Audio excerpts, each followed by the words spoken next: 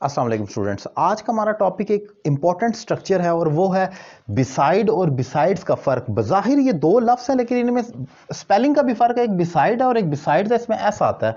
सो ये एक बहुत कॉमन स्ट्रक्चर है, दोनों, एक प्रपोजिशन के तौर पर इस्तेमाल होगा, दोनों प्रपोजिशन लेकिन किस तरीके से इस्तेमाल होंगे, ये जाना इंपॉर्टेंट इससे पहले मैं तमाम वीडियो लेक्चर्स जो है प्रपोजिशन आर्टिकल कंजंक्शन के हवाले से और ग्रामर और राइटिंग स्किल्स के भी अपने YouTube चैनल सैयद अली रजा काजमी पर डिफाइन कर चुका हूँ। वो आप प्ले लिस्ट में जाकर देख सकते हैं चैनल का लिंक आपके सामने मौजूद है। और इसके अलावा अगर आप मुझे one to one online English language course करना चाह रहे हैं, दुनिया के किसी भी कोने से नंबर आपकी स्क्रीन पर मौजूद है, आप मुझे हायर कर सकते हैं और घर बैठे कोर्स का आगाज़ कर सकते हैं, जहाँ पर फीमेल स्टूडेंट्स के लिए फीमेल टीचर भी मौजूद हैं। इसके अलावा रावलपिंडी इस्लामाबाद के स्टूडेंट मेरी अकेडमी भी ज्वाइन कर सकते हैं। तो आए स्टार्ट करते हैं टॉपिक बिसाइड वर्सेज बिसाइड्स तो सबसे पहले देखें बिसाइड क्या है।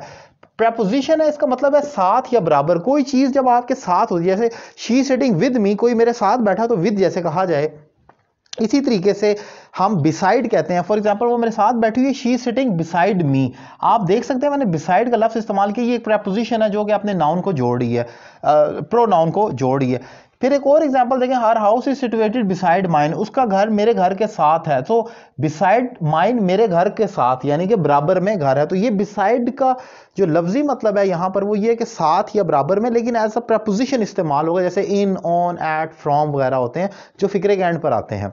अब हम देखते हैं बिसाइड्स क्या है। बिसाइड भी एक प्रपोजिशन है, लेकिन इसका लफ्जी मतलब है, इसके साथ साथ ये इसके अलावा फॉर एग्जांपल आप कहते हैं कि म्यूज़िक के अलावा या म्यूज़िक के साथ साथ हमारी और भी बहुत सारी चीज़ें हम दोनों में कॉमन हैं। तो अब यहाँ पर हम, असल में जब हम ये कहते हैं कोई एक चीज़ के अलावा इसका मतलब उसके साथ साथ ही हो जाता है तो लफ्जी मतलब और मीनिंग में, लफ्जी इसका जो ज़ाहिर लफ्स हैं, वो तो डिफरेंस है, लेकिन मीनिंग सेम ही हो, यानी जब आप कोई चीज़ कहते हैं, इसके अलावा इसका मतलब यही होता है कि इसके साथ साथ।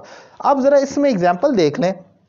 He can write English beside speaking besides के बाद जैरन का इस्तेमाल होता है क्योंकि हमने एक एक्टिविटी को शो करना होता है। तो बिसाइड्स के साथ आप फ़र्स्ट फॉर्म या कोई सेकंड थर्ड फॉर्म नहीं लगा सकते।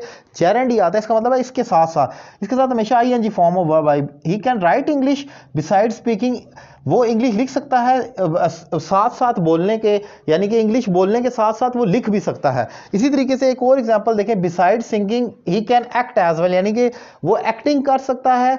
ये भी मैं कह सकता हूँ कि सिंगिंग करने के साथ साथ वो एक्टिंग भी कर सकता है। सो so, आप देखते हैं कि एक एक्ट प्लस एडिशन करना हो हमने तो तब हम जिस एडवर्ब भी इसे कहा जाता है कि एडवर्ब ऑफ़ एडिशन के तौर पर कि ये चीज़ और इसके साथ साथ ये भी। सो so, वहाँ पर बिसाइड्स का इस्तेमाल होगा और उसके साथ हमेशा I N G form of verb आएगी। सो so, मैं उम्मीद करता हूँ बिसाइड और बिसाइड्स का डिफरेंस समझने में ये लेक्चर आपको काफ़ी हेल्पफुल रहा होगा। अगर आप मेरे दीगर वीडियो लेक्चर देखना चाह रहे हैं तो Syed Ali Raza Kazmi YouTube channel subscribe करना ना भूलें। Thank you very much